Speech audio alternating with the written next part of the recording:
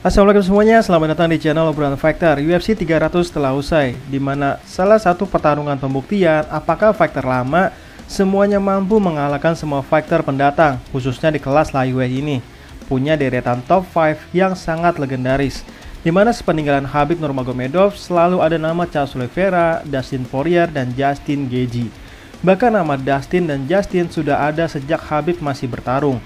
Nah, baik Justin maupun Dustin telah membuktikan bahwa tidak ada yang bisa menggantikan faktor lama kecuali usia mereka sendiri nanti.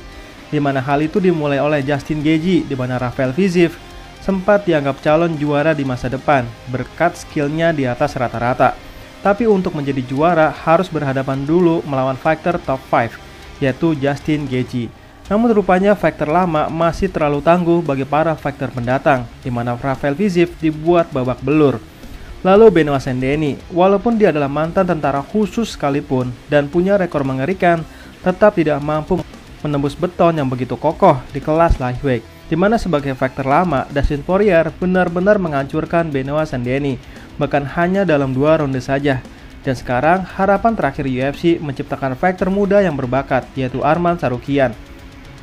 Untuk mampu bersaing di masa depan, namun harus berhadapan dengan top 5 yang sangat legendaris, namun sayangnya, Arman harus berhadapan dengan mantan juara yang sempat dominan. Siapa lagi kalau bukan Charles de Bron Oliveira. Suatu ujian yang sangat berat. Pasalnya, walaupun belum lancar bahasa Inggris, Oliveira sudah terlanjur sangat amat dicintai para fans. Bahkan dicintai oleh para fans dari Amerika Serikat itu sendiri. Saki menghiburnya Oliveira. Justin Gaethje memang faktor paling menghibur saat ini, tapi itu hanya soal power. Tapi Oliveira tidak hanya power, tapi juga skill lengkap, daya juangnya, dan jiu-jitsunya.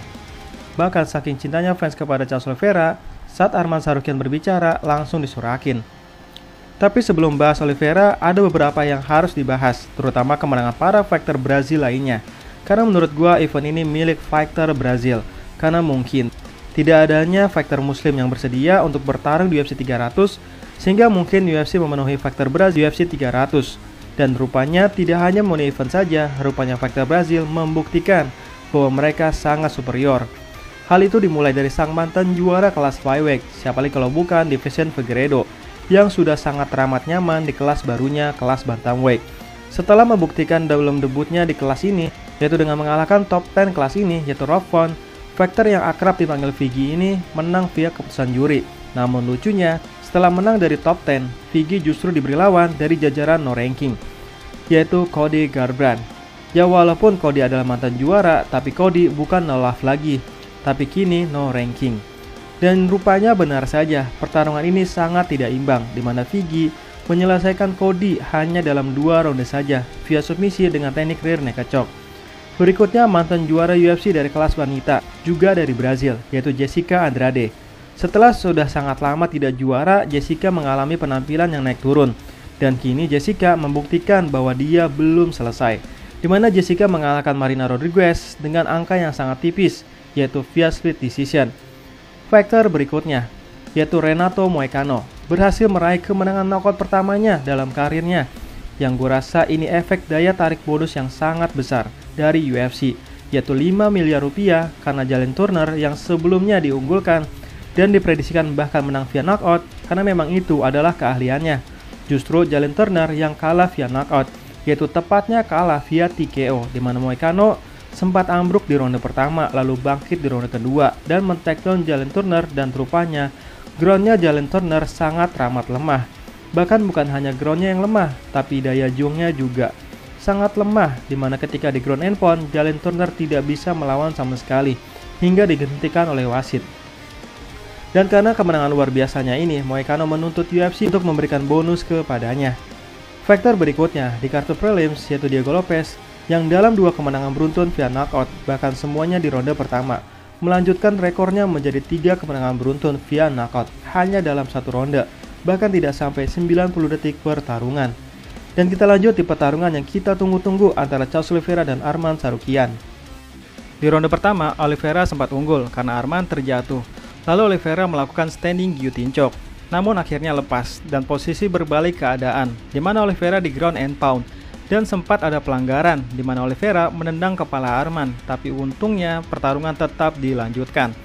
Di ronde kedua benar-benar milik Arman Sarukian. Seperti prediksi gua, Arman akan sangat berani mengajak Oliveira di pertarungan bawah. Dan Oliveira sebagai ahli Jiu-Jitsu dan memang gulat versus Jiu-Jitsu. Sehingga Oliveira tetap berusaha mengunci Arman, tapi Arman begitu kuat daya juangnya. Sehingga Arman terus menyerang dengan big elbow, sehingga warna rambut Oliveira berubah jadi merah. Di ronde ketiga, gua harap Oliveira bakal seperti saat melawan Michael Chandler di ronde kedua. Tapi sepertinya energi Oliveira sudah habis karena dikontrol Arman sehingga terlihat Oliveira tidak agresif sama sekali. Oliveira tidak melakukan pressure, Oliveira tidak mengejar pertarungan satu siku. Sedangkan Arman terus mengincar takedown hingga Oliveira kena takedown. Sehingga Oliveira kembali dikontrol. Hal ini membuktikan bahwa untuk bisa menang dari Oliveira harus dengan menang dominasi, bukan menang penyelesaian. Walaupun Arman pernah bilang saya akan menyelesaikan Oliveira dalam satu ronde, gue rasa itu cuma gimmick untuk mengecoh strategi Oliveira karena gue yakin Arman akan bermain seperti Matthews Gamrot, yaitu main dominasi. Dan benar saja, dengan hampir unggul selama dua ronde, Arman cukup mendominasi Oliveira di ronde ketiga. Tidak perlu menang finish, tapi rupanya Oliveira yang begitu licin bisa membalikan keadaan, di mana Oliveira sempat mengeluarkan lidahnya. Tapi sekali lagi, daya juang Arman gak main-main. Arman gak mau tap sama sekali dan terus bergerak untuk meyakinkan wasit bahwa Arman masih hidup dan pertarungan pun selesai. Dan rupanya hasilnya split decision, di mana Arman dinyatakan menang oleh kedua juri, dan Oliveira pun pulang dengan kekalahan. Nah, apakah omongan gue terbukti bahwa ini adalah akhir karir Oliveira? Nah itulah rekap singkat dari Urban Fighter. Pertarungan mana lagi yang mesti gue bahas? Silahkan tulis di kolom komentar ya. Sekian dan terima kasih.